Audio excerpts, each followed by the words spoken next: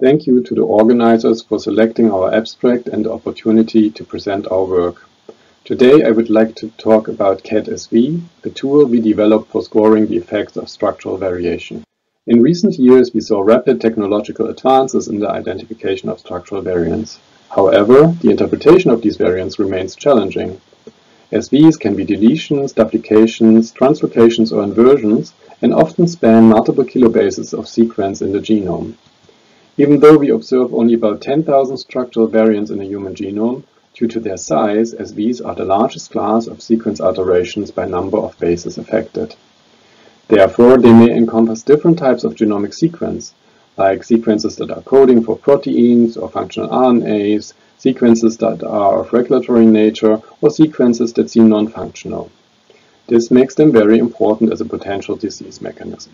Typically, we would want to look at a large number of known disease-causing, pathogenic, or otherwise known functional SVs and learn from those how to prioritize new SVs. However, the existing datasets are rather small and more importantly biased due to their historic ascertainment. In ClinVar, the reference database for clinical labs, we can, for example, immediately see a strong bias towards deletions and against insertions.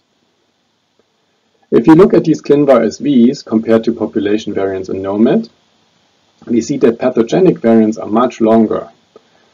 Um, they're also very close to coding genes, and those genes tend to be haploinsufficient. This sounds like the kind of SV that uh, was the easiest to discover over the years, but are these SVs really representative of all functional SVs? Like those that have a functional impact due to gene regulatory changes. So what can we do? In the past, we've overcome similar problems by using a surrogate training objective, combined annotation-dependent depletion, CADD. This refers to the depletion of functional variants in evolutionary derived variant sets. For the interpretation of SNVs and short indels, we use human lineage-derived alleles as proxy neutral and contrast them with matched simulated variants as proxy pathogenic. While short SNVs and indels are easily identified from whole genome alignments, SVs are a different kind of beast. We were fortunate that, a, uh, that a study of evolutionary derived SVs had just been published when we looked into this problem. Here, a consortium around Evan Eichler identified about 10,000 insertions and deletions on the human and chim chimpanzee lineage each. While with CADD we did not look at chimpanzee-derived variants, it turns out it has advantages to use both the human and the human and the chimpanzee-derived SVs. For example, the chimpanzee deletions, when viewed from the human reference perspective, look like a newly identified deletion, with all the reference annotations and tracks available. On the other hand, human insertions are special, as the inserted sequence could have destroyed or altered gene models and also the conservation metrics are impacted by the altered reference. Now how do these variants look like when we go back to the same metrics that we checked for ClinVar? Well, we no longer see the extreme length shift, and the chimp-derived deletions tend to be shorter, in agreement with long-term purifying selection. The SVs are also in similar distance to coding genes as population variants, and we also don't see an extreme depletion for haploinsufficiency genes. So having a larger and less biased training data set, we can think about the vast number of available annotations. We will generally annotate variants across their span in a 100 base pair flanking region and with distance features to, for example, annotated genes and elements.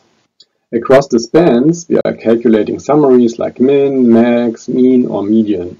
And in addition to the many genomic annotations describing linear genome features, we also include a number of annotations that are supposed to capture the genome's 3D architecture. So as a brief recap, this is the overall workflow. We use the previously identified human and chimp-derived SVs. We complement them with randomly drawn SVs of the same size. We annotate these SVs, normalize all the annotations based on their appearance in population SVs, and train a random forest machine learning model um, that we can then use to score new variants. On the left you can see that all four models show a non-random performance on an holdout set of the training data. This is good and shows that there's a purifying selection signal between the derived variants and the simulated ones. On the right, you can see that feature import you can see the feature importance for one of the models. You can see that while evolutionary conservation is very important, that also 3D architecture and regulatory features are contributing to our predictions. If we now look at model performance, we can see uh, in, a, in the solid red line here that we perform very well in identifying ClinVar pathogenic variants. But we can also separate cancer somatic deletions from population variants, the black line, and we can uh, also get some enrichments of uh, structural variant EQTLs, the purple line. In these comparisons, we are outperforming AnnotSV, shown in the dotted line, and SV score shown as the dashed line. On the right, I'm highlighting that the performance is currently best for the lesions, which could potentially be improved if model features would be derived from the inserted sequence itself. With very few other tools available, and with some recently published ones also being difficult to revive from their GitHub repositories, we decided to make our scoring available through a web server. And to also provide scores for large sets of previously described identified variants. Here we also provide the z-score normalization features to easily uh, interpret the scores and to highlight annotations that might be driving them.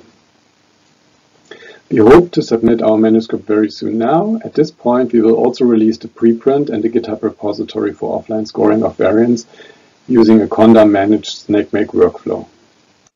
To summarize, Inspired by the combined annotation-dependent depletion framework, we developed a model training approach for structural variants that overcomes the biases and small size of the clinical truth set. We developed CADD-SV as an easy-to-use tool for scoring the effects of insertion and deletion events in the genome.